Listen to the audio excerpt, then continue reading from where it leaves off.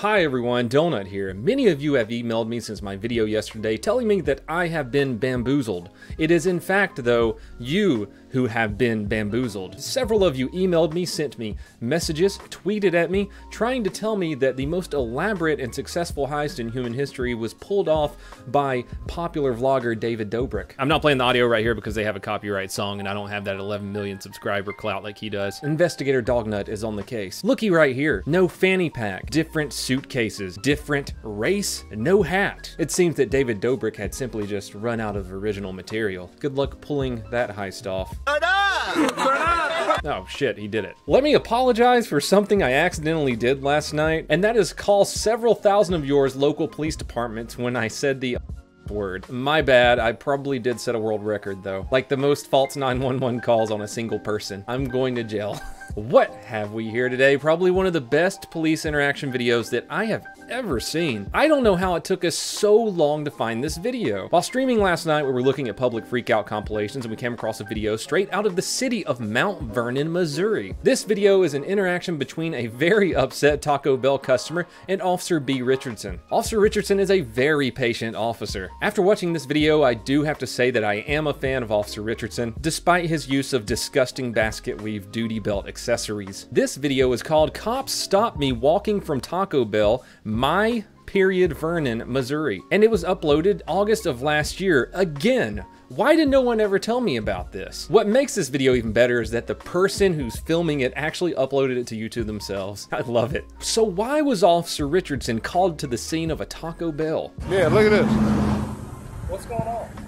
I don't know. Why don't you tell me, officer? Well, you got people calling and talking about saying you're cussing and hollering and yelling at people, and then you refuse to leave. I walk a half a mile from the TA to here. okay, All right. okay, I wait 20 minutes okay, for a 12 pack of tacos. okay. They were making his tacos too slow. I see five cars get their order before me. Okay. Five cars, people. Five. The drive-through line was just a moving, and the tacos weren't coming, and goddamn it, that's just not right. All right. Now they're sitting there calling the cops on me. Well, there's a there's people in there that have kids, and you're yelling the F word. Very understandable, Officer Richardson. You don't want a dude standing in the middle of Taco Bell dropping F-bombs on a bunch of kids. They don't they don't really want you yelling the F word around their kids. Then they should have better service. Anyways, it's not even his fault. It's their fault for having shitty service. It's not my fault for screaming the F word at a bunch of kids and employees at Taco Bell. It's Taco Bell's fault for having a very, very poor taco creation rate. Okay, but what are the kids? I was not at, I was not saying the F word to the people. okay, I was the saying the F word to the people kids behind the counter.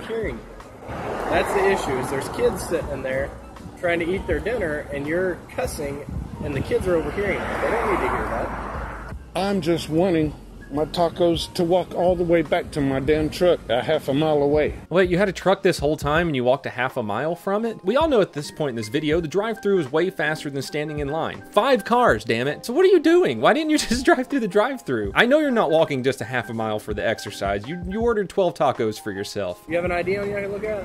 I do. Okay. What have I done wrong? What? Really? We just went over that more than a few times. My favorite part is about to happen, and this guy's argument is bulletproof. You caused a disturbance at Taco Bell. No, I have not. You did cause a disturbance. You That's do not need my. I have not caused a crime. If I have caused a crime, You, did. You did commit a crime. No, I That's did peace not. disturbance. When you cuss like that in public, you are disturbing people's peace, which is a peace disturbance crime. when a baby cries during hey, hey, when a baby when, when a baby cries, that's a crime. That's disturbing the peace, also, officer. Because they didn't use vulgarities. When a baby cries, isn't that a crime? When a dog takes a shit, isn't that littering? A crime? Arrest that tree. A branch fell on my car and scratched it. Vandalism. Crime. You're using vulgarities in a public place, which is peace disturbance. How do you know what the baby's saying? How do you know what the baby is saying? I can't handle this guy. He's so matter of fact with how good he thinks his argument is right here, and you can hear it in his voice. How do you know what the baby's saying? In his brain, he knows at this point that he's got that officer backed into a corner just where he wants him. The baby doesn't talk when it cries. Exactly. You don't know what it's saying. His mental gymnastics and verbal judo is just perfect. So just to recap real quick, a grown man screaming curse words in a Taco Bell over non-speedy tacos is the equivalent to a baby crying because you don't know what the baby is saying, and I don't see cops going around and arresting babies, therefore you can't arrest me, Checkmate, son. This guy is one of those people that whips into their driveways on a traffic stop when they're close to home and jump out of the car and think that the police can't arrest them because they made it to home base. This is one of those people that probably speeds, records it on video, gets a ticket, cries about it like a little boo-boo baby biatch, and then makes several more videos obsessing over a more popular and funnier YouTuber. You know who you are. It's okay to come out, man. It's 2019. I know you got a thing for me. I'm sorry I don't swing that way, but I do respect your life choices. Okay, here's the deal. You can give me your ID, or we can go about this a completely different way. All right, what's the different way? You get a ticket for peace disturbance. How much is that?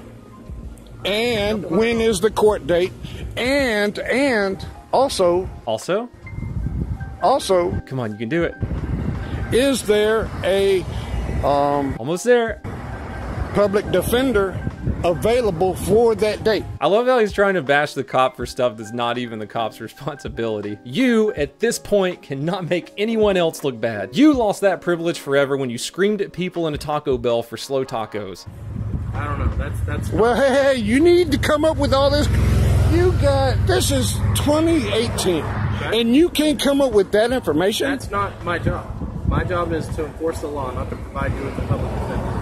Oh, you're trying to play the 2018 card on the officer. What about you, huh? It's 2018. Why don't you download the Taco Bell app and order that shit instead of walking a half mile from your truck instead of driving through the drive-through? What's your problem, bro? It's 2018. Enforce the law. Yep. Okay, when? Where did I break the law? Peace disturbance. I've already explained it. So you can either give me your ID, or this can go a different way. That's it. Fine. Okay.